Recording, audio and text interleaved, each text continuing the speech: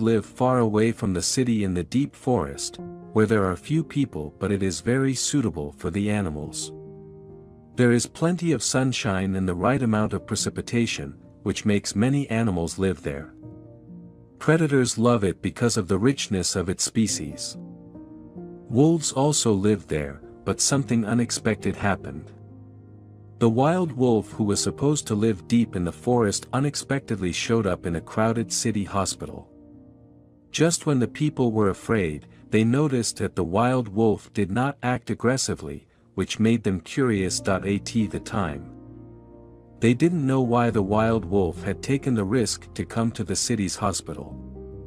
This happened in a hospital in Siberia, which is a famous hospital and can provide effective and complete treatment for patients. The day before, the sun had shone warm on the patient in this room. The patient was in remission, and as the weather was fine that day, he was allowed by the doctor to go out for a walk. The patient felt cheerful, thanks to his gradual recovery and the warmth of the sun.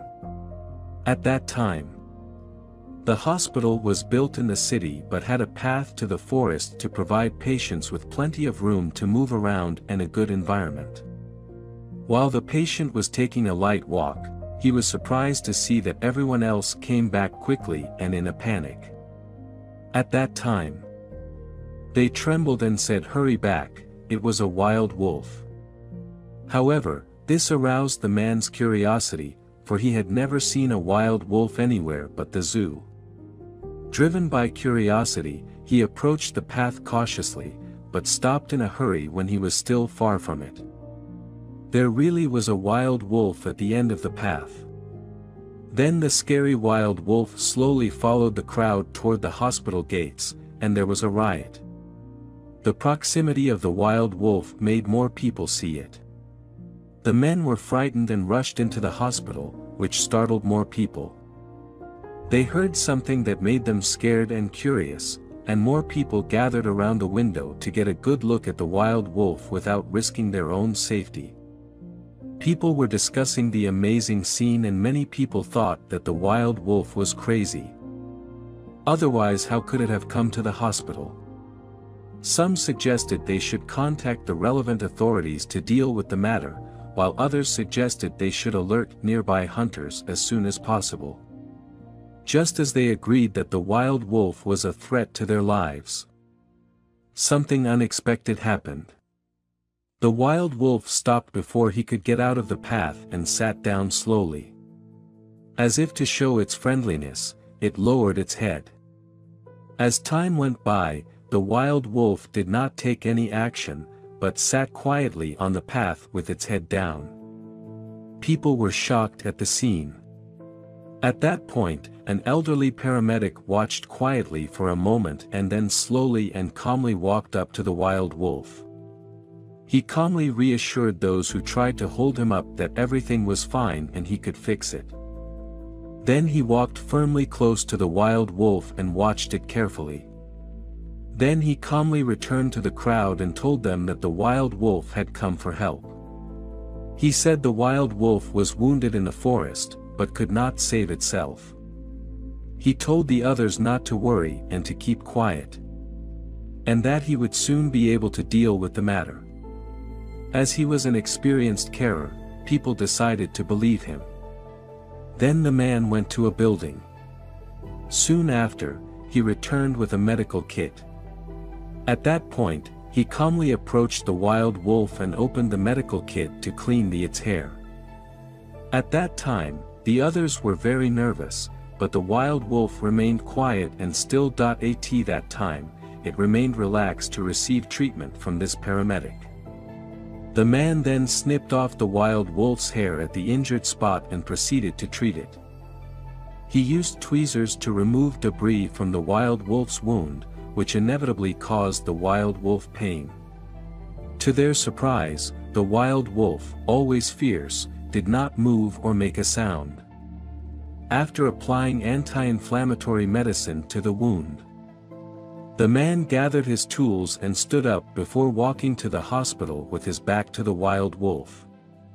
Others were more worried, believing that one should not turn one's back to the fierce animal. They watched the wild wolf nervously. Just then, the wild wolf stood up and walked toward the man. Because the man had not used any anesthetic during the treatment, the wild wolf wobbled a little. Even so, it moved firmly toward the man. The wild wolf's behavior added to the panic of the onlookers, who were terrified. They had always believed that wolves were broken promises and ungrateful and unworthy of trust. However, after catching up with the man, the wild wolf fondly rubbed his pants and then walked off into the forest without any aggressive behavior. People stereotype that the wild wolf will hurt them even before they come into contact with it, but its subsequent behavior makes them feel that the wolves are grateful and remember their benefactor. In fact, people and creatures often have stereotypes about other creatures. I think it's possible that this wild wolf came to a human hospital after being injured because of human kindness to animals, and it's possible that this wild wolf's own people have received help from humans. There is nothing that cannot be changed. Humans will change their stereotypes of animals. And animals will change their attitudes toward humans. As long as we live peacefully with animals, then we can feel these changes. Before long, there will surely be a wonderful friendship between humans Shortly after finding out she was pregnant with Finn, Paige Knutson adopted a two-year-old boxer. Named Brutus from a local rescue. Brutus is just a big teddy bear, said Knutson. He loves attention and loves to snuggle with people. When Knutson was 20 weeks pregnant with Finn, an anatomy scan revealed a serious heart defect. Finn underwent multiple procedures immediately after his birth until he could have open heart surgery. We were extremely lucky to have found this out prior to his birth.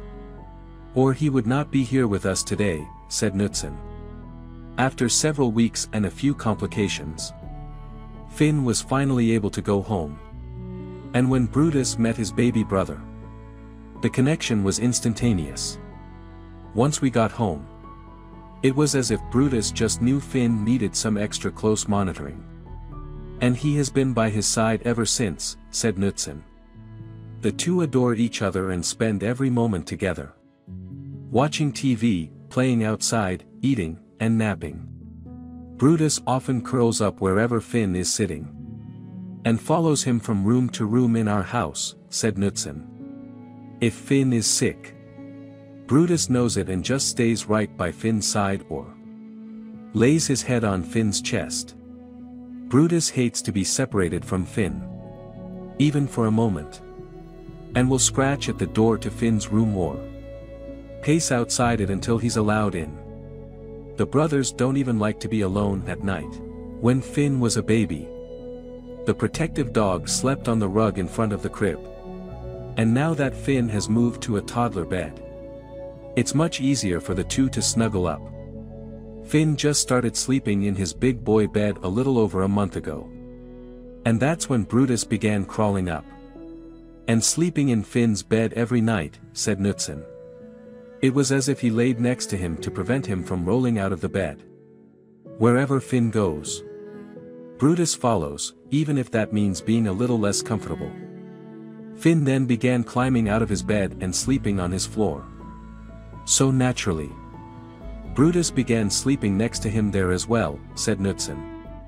Now that Knutson has moved Brutus' dog bed into Finn's room. Finn will often choose to snuggle up with Brutus. In his bed rather than stay in his own. Knutson was recently able to capture their sweet nighttime routine. With the nanny cam. If Brutus is sleeping on the floor. Finn will grab his blanket and climb out of bed in order to snuggle up next to his buddy. The gentle dog doesn't mind being used as a pillow as long as his brother is comfortable. Now the whole family just expects to wake up and see Finn and Brutus curled up together. Finn sleeps with Brutus all night. Every night, Knutson said. Whether it's in the dog bed, Finn's bed, or the floor. The two always sleep together. Knutson is so happy that Finn has a best friend. And a protector in Brutus and can't wait to watch them grow up together. In 2007, an unusual thing happened to a drug farmer in Sichuan province. When the Sichuan farmer was going up the mountain to collect medicine, it suddenly snowed heavily. And he was trapped in the mountain for several days. He has no food, no water and no precautions against the cold. However, as he became desperate, a leopard suddenly appeared and helped him. In a remote mountain village, there is a medicine farmer named John. His ancestors have always been doctors and knew pharmacology.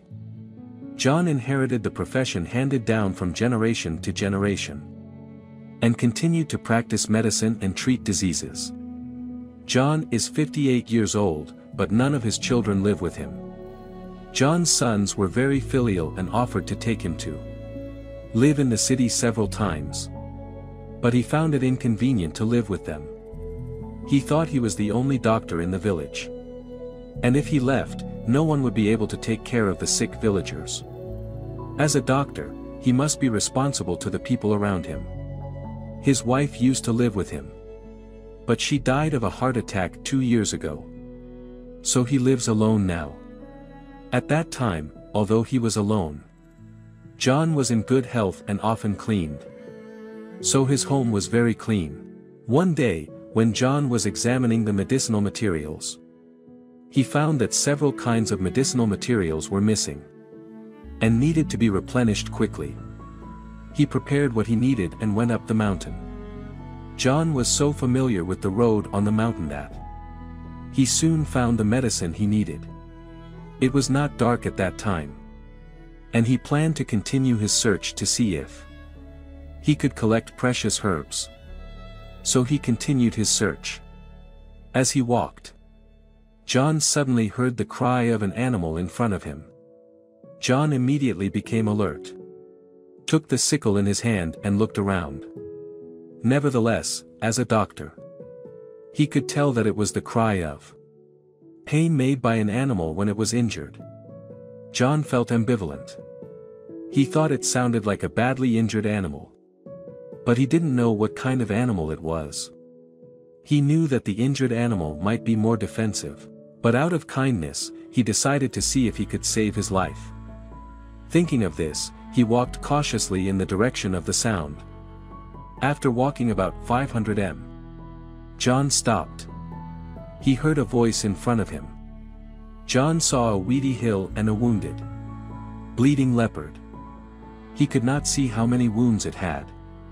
But the weeds under it had been stained red with blood. He pitifully licked his wound. John felt pity when he saw this and wondered how he could save the leopard. He stayed where he was carefully, looking around for other animals to see if there were any other threats. It took about half an hour for John to make sure. He didn't see any other animals before he came out slowly. He stopped at a safe distance in front of the leopard. The leopard was surprised at the sight of John. So it growled with warning. But the leopard did not attack John, instead. It warned him to leave. John did not take any first aid. He just picked up the remaining meatloaf and some anesthetic in his bag quietly put it on the ground, and then retreated. The leopard smelled it, and although it was still vigilant, it looked very hungry, so it ate the food quickly. Before long, the leopard's limbs were stiff and his head sank to the ground. John had to wait until the leopard was completely unconscious. And then went to the leopard to check its injuries. The leopard has several deep bone wounds. And is slowly bleeding as if it had been scratched by a lion. John quickly took out the herbs picked that day. Crushed them. And applied them to the leopard's wound. Although he stepped up the anesthesia. He didn't know when the leopard would wake up. So, after doing this, he packed up his things and was ready to leave. Fortunately, the leopard didn't wake up and didn't move. After walking cautiously for some distance, John stopped. And then hurriedly turned down the hill. Sweating with fear. When he got home. John did not tell anyone that he had saved a leopard. As time goes by, five years have passed. One day, John felt that it was getting colder and colder. And it was likely to snow heavily. He felt that if the heavy snow blocked the foot of the mountain, he would not be able to go up the mountain to collect medicine. John thought about it and decided to go to the mountains to find available herbs. Preferably many at a time. So that there would be enough herbs in winter. Soon, he packed his things and went up the mountain. Two hours later, he found half of the medicine. But suddenly it snowed. John frowned. He thought it would not snow. So he came to the mountain to collect medicinal herbs. But now that it was snowing, he had to quicken his pace and get home before. The heavy snow flooded the mountain after collecting enough herbs. After a while, the snow began to fall heavily. John finally found all the medicine he needed. And was ready to go down the mountain. It was then that he suddenly realized that. The way down the mountain was full of snow. And the snow was knee-high. He knew it was bad, so he tried to turn back. Another hour later. John noticed that it was snowing everywhere and it was getting dark. He is lost and the snow has not reached his thigh. In desperation. He decided to find a nearby place to take shelter from the snow. And wait for the snow to stop before going down the mountain. After finding shelter. He took out the dry food he had prepared and began to eat to replenish his strength.